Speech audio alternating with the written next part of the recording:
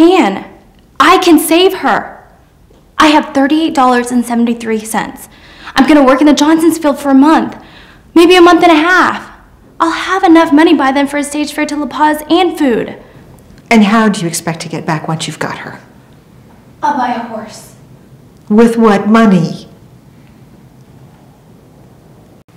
We can work and save up enough money for the stage fare there and back. You know we'll never have $80. Not this year, not next year, not five years from now. I'm sorry, Jim, I shouldn't have said anything. Don't apologize, Auntie. Virginia's longed her whole life for this. Truth is a gift, even if there's nothing we can do about it. Thank you. Auntie McCain.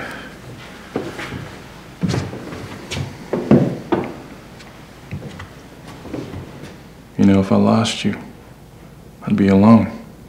All alone. You know that.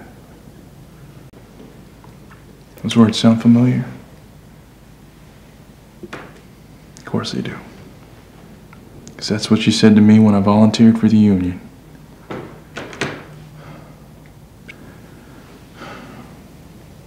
But you let me go. It's the right thing to do, he said.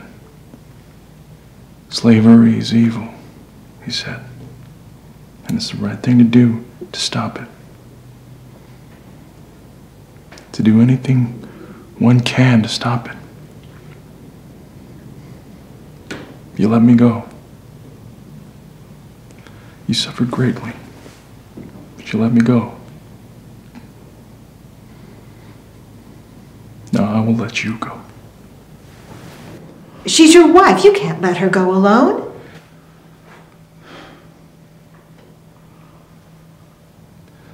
Course, I would go if I could. But you and I both know it's not possible.